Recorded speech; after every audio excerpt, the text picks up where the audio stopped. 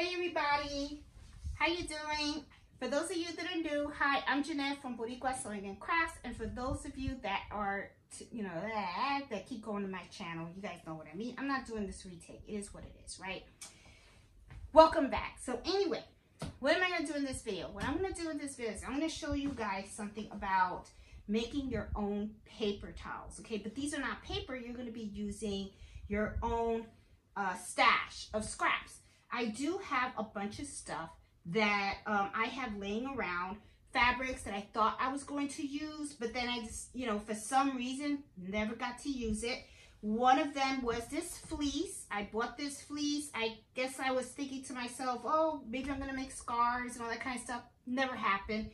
But, um, you know, I started looking around because I like to be green. I always like to do reusable items and stuff like that. So I saw that people were actually making their own paper towels, right? Instead of going to the store and always buying paper towels.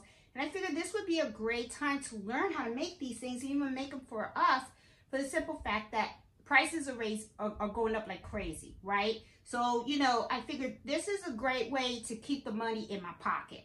So I thought, let me share it with you guys and show you guys what I'm doing. So anyway, these are the paper towels. And what I did was, let me go grab the paper towel that I got.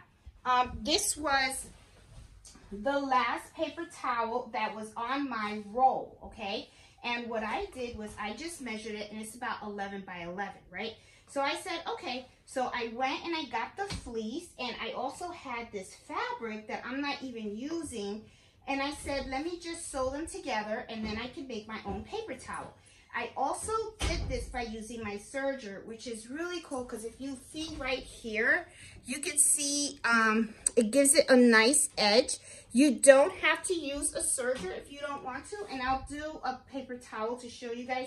You can just use your regular sewing machine, but you would just do it opposite, and I'll explain how to do it as I am doing this one, okay? Um, this, I've already done three.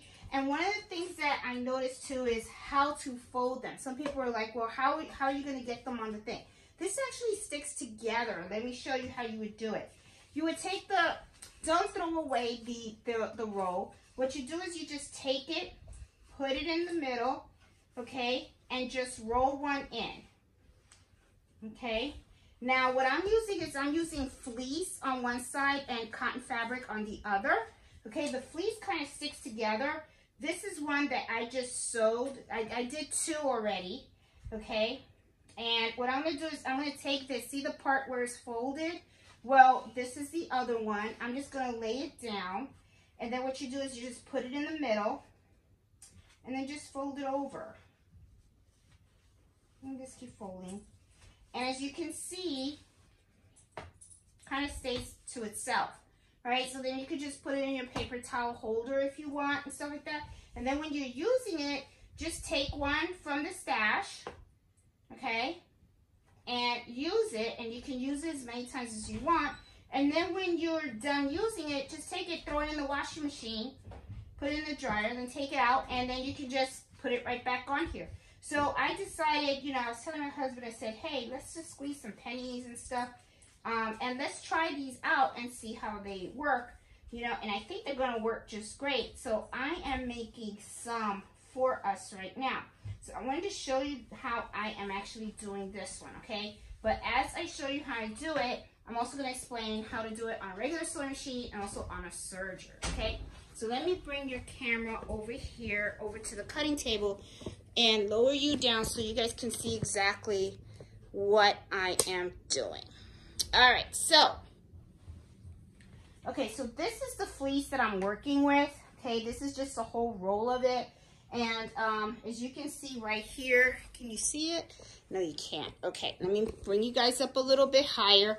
All right, cool. As you can see right here, I bought a lot of it. It was on sale. I thought it was pretty. I bought it. Didn't know what I was going to use it for. But I guess now I'm going to use it for that for um, paper towels. Well, it's not paper towels. I think some people actually call this as unpaper towels, something like that. But anyway, hey, whatever, whatever, you know, you guys want to call it, I say go for it. All right, so what you do is take a piece of cotton and you cut it by 11 by 11. Now, what happened was I had some scraps and what I did was I just sewed these two pieces together, okay? And then I just went to the iron and I just ironed it out. Another thing you could do is you could really have a lot of fun with this. Let's say that you have like a bunch of little different scraps. Just sew them all together, iron them all out, and then you could do like a quilt pattern or whatever it is that you want. You know what I'm saying? This is your paper, your your towel, so you can, oh, that's Cardito. So you can do whatever you want with it, all right? Um, so what I do is, I, if you're using a serger, like I'm going to use a serger, what you do is make sure that the ugly sides are touching each other, right? Because what you're going to do is you're going to take it to the serger, and then what I'm going to do is I'm just going to sew it all the way down all four corners, okay? And then that's it. Then I'm done, right? Now, let's say that you don't have a serger and you want to sew this on your regular sewing machine, right? Well, what you would do is you would do it the opposite. The pretty sides of the fabric, you want them facing each other, okay? And then what you're going to do is you're going to leave like an opening, okay? You're going to back stitch right here. You're going to stitch around, stitch here, stitch down here, stitch up here, go up here, and you're going to back stitch. You're going to have an opening, right? When you have the opening, then what you're going to do is you're going to turn it inside out. And then what you're going to do is then you're going to um, just top stitch it. As a matter of fact, because I'm explaining it, it could be a little more difficult for, for especially for people that are new is sewing to, um, to know how to do this on a single needle machine.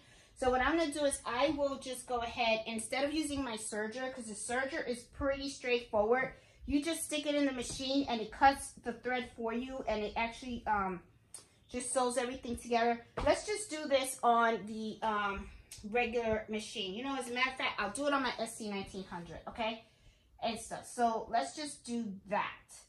All right, so I have the pretty sides, right? They're all touching, okay? And then what I'm going to do is I'm just going to clip all the way around just to keep the two pieces together.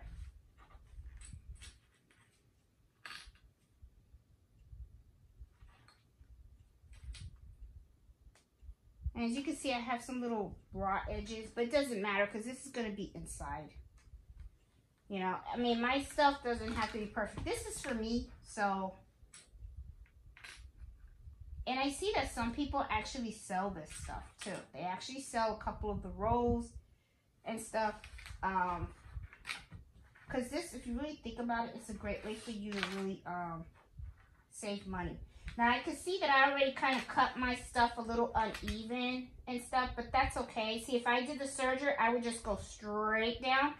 But I'm going to do the same thing with the sewing machine. I'm just going to go straight down too. So I'll just fold this over. And then I'll just go straight down. All right, so let's go over to, let me move you guys over here so you guys can see I have my serger and my sewing machine. I'm going to turn on my SE1900 and let's see how this turns out for me. I've been doing it on the serger and of course it comes out great because it kind of cuts the fabric and everything, but um, this is going to be interesting to see how it's going to come out for the simple fact that I don't have my foot on here. I'm not very great at sewing straight.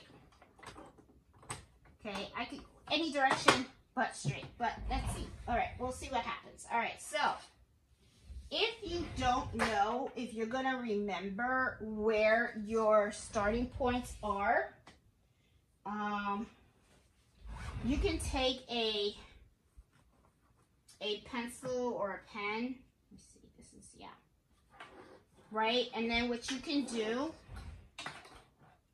and I want to make sure that you're seeing everything that I'm doing. Yep, you are. What you can do is take a pencil or a pen and stuff, and in the inside, just do like a little line right here, like, you know, two inches and stuff, just so that you can make sure that you know where to start to sew and then where to stop when you're going around, okay?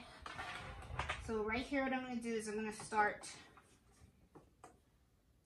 straight stitch. Where's my paddle for this? There we go. Alrighty, okay. So let's, uh, yeah, I gotta go super fast. I'm gonna do medium because if I go super fast and stuff, sometimes the machine kind of runs from me. Okay, so back stitch because you want to make sure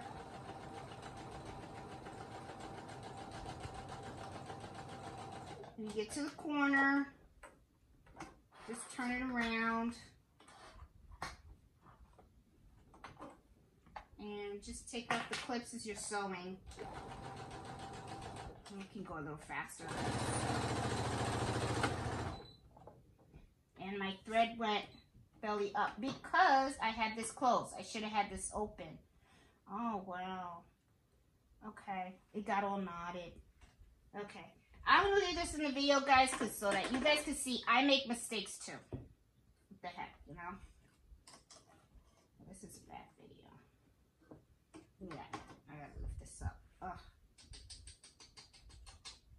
Ugh. All right, I made a boo-boo. Made a boo-boo. I make them too. Okay, so, you know. Let's see. Let me go back here. One, two, three, four. Just as human as everybody else. Okay, so. All right, so let me uh go back here. Let me cut the bobbin at the back because I see that the bobbin's on here. All right, let's get all this extra thread out of there. There we go. Okay. All right, so I'm going to go back where I was stitching. And I'm going to go back and forth a little bit. There you go. And then let's keep going. Let me move this to the side. It should be on the side. It shouldn't be in the back. Okay. That's, that can make it turn kind of funky on me, you know? All right, let's go. Here we go. All right. I got a feeling this is going to be smaller than the ones that I did in the, the serger, but that's all right. As you can see, I'm just doing squares. I'm just going around okay? And then as you can see, this is where it's all like kind of funky, but that's all right. Just keep going. We're going to cut all that.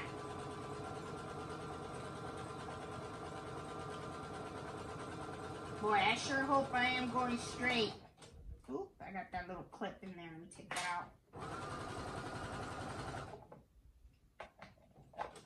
Alright. The thing is you want to make sure that you catch all of it. And I think this one's going to be a smaller towel than the others, but that's all right. It doesn't bother me. Should have went a little more, but that's okay. You guys get the concept. Alright, so. Alright, so here we go. Alright, so this is the last section. All right, let me take this pin out. And then right where, you know, you have that two markings and stuff, right at the other marking, that's, I'm going to back stitch. Right here. And then I'm going to cut. And then I'm done. All right, so, and right here, what I'm going to do is in the corners and stuff, I'm just going to cut it at an angle. You don't cut the stitch though. Okay and stuff. All four corners, just cut at an angle. But you don't, do not cut that, that stitch, okay?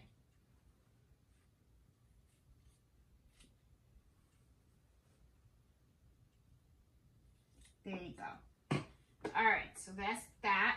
Now, one of the things you can do, which I'm going to do, is right up here, I have some pinky smears or pinchy smears. Y'all know what I mean. It's the thing that cuts kind of zigzag. It's so that it can get rid of the bulk. Because what will happen is when you turn it inside out, it can get kind of bulky. So I'm just going to cut this excess off. basically, if you think about it, this is kind of like what the serger kind of cuts, you know. So that way you don't have that bulk. So I'm just going to keep going like this.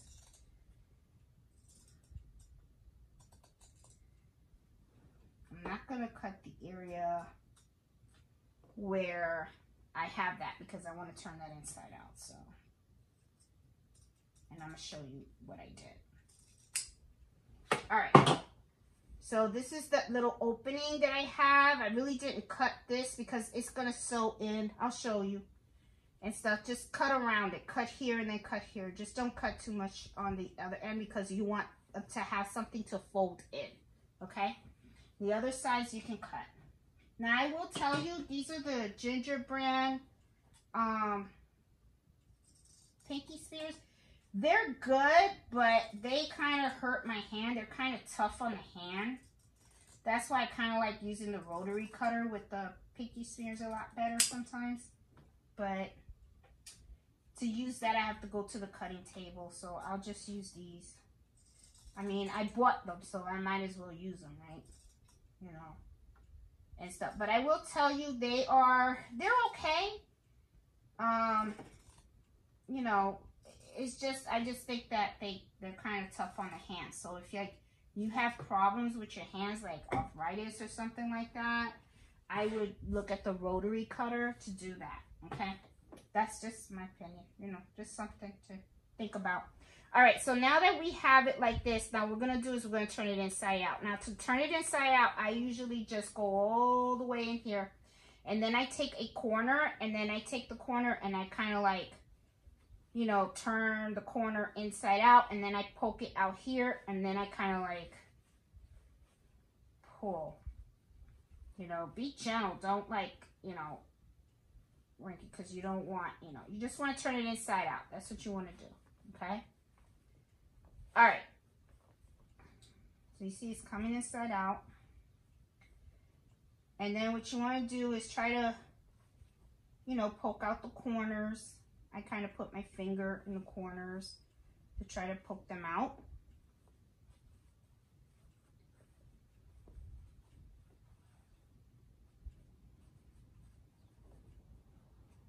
go. You look kind of cute. Not bad. I think I did okay. It looks like a little small towel, but that's okay. I think if you are going to use this method, I was cutting it at 11 by 11, right? So maybe you should do 11 and a half by 11 and a half because you have to leave seam allowance so that you can, um, you know, turn it inside out. And then see, this is what I mean. You want to be able to like fold this in here. Okay. That way. And then I would just put a pin, a, a little clip there so you can keep it closed. So that way you can like top stitch. And then you top stitch all the way around. Okay. So before I top stitch it though, I think I'm going to take an iron to it. And I gotta move my machines and everything over. Hold on, let me move this here. The, you know, it's really amazing because it's like this room was really like empty. And then like you start uh, embroidering and stuff like that. And next thing you know, you end up with a whole bunch of stuff all over the place. So it's like, uh, it's like, okay, now be careful with the iron because this is fleece. So I don't know how fleece and the iron would work too much. So I'm just going to iron it, but on this side where the cotton is, and I just want to iron it flat. And it will also give me the opportunity to iron the part that I'm going to sew right here to iron that flat as well and stuff. Can you guys see? I want to make sure. Yeah, you guys can see. Okay, so there you go. All right, so I think it's good. The iron's good. All right, so I'm just going to pass it through because I just want to Make sure it's nice and flat. And it is. And I also just want to pass it through where I'm going to close that opening. There you go. There.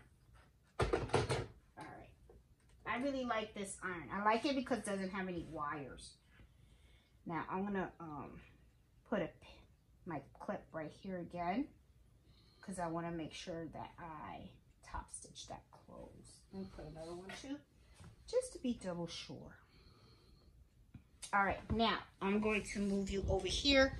Now what I'm going to do is I'm going to just top stitch all the way around the whole thing, okay? So let me just pull my thread, put that in there. You go. Okay, so I'm just going to top stitch it. That way. And always back stitch. There we go. And, you know, just try to top stitch um, like a qu quarter or something, you know, real close to the edge, but doesn't have to be super close, but just close to the edge.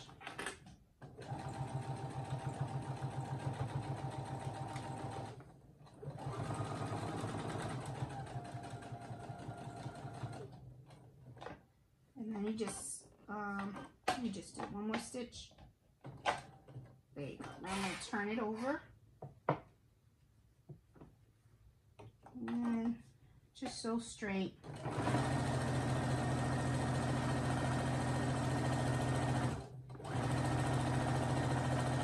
It's just to give it a, a top stitch all the way around.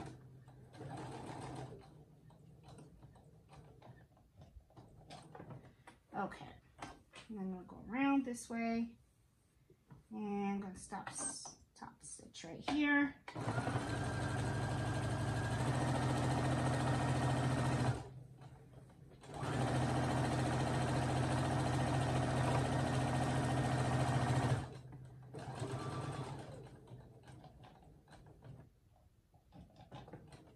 All right, the other way.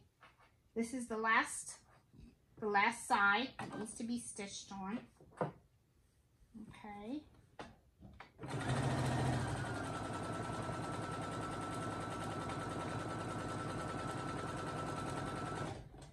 Just to give it a finishing, a finished look.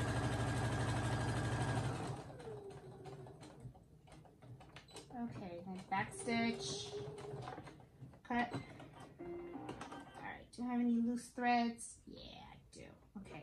Cut these. So this is done. So I got this towel done, all finished. See? Nice and neat and stuff. Let's go over to the uh, the table. Let's go to the table so we can see. Um, I think I believe this is going to be smaller than the others. Well, it's about the same. It's okay.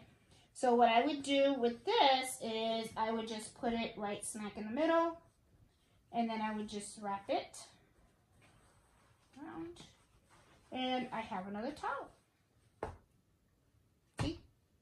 And then I could just put these in the towel holder that I have downstairs in the kitchen and then when someone needs a towel they can just take one out and use it and stuff and then just put it on the side. And then when it gets like super duper dirty, right? Um, we'll throw it in the washing machine. And then after that, then we'll reuse them and keep using them. So guys, I just wanted to share this idea. I think it's a neat one. Um, you know, I'm trying to do, um, you know, all these reusable items and stuff because I think this is like really, really super neat. And, you know, like I said, you know, let's get real, guys. Prices are up there, okay? So anything that you can keep in your pocket, I think it's worth it, you know? Especially if you already have this stuff at home, right? If you already have it, why not? You're not using it, use it for, for something that, you know, that can save you some money. So anyway, guys, I hope you liked this video. And if you did, please give it a thumbs up. If you're new to my channel, please subscribe. I do embroidery happy hour every Friday at 8 o'clock Eastern Standard Time. So hope you guys have a great week and save those pennies. I'll talk to you later. Bye.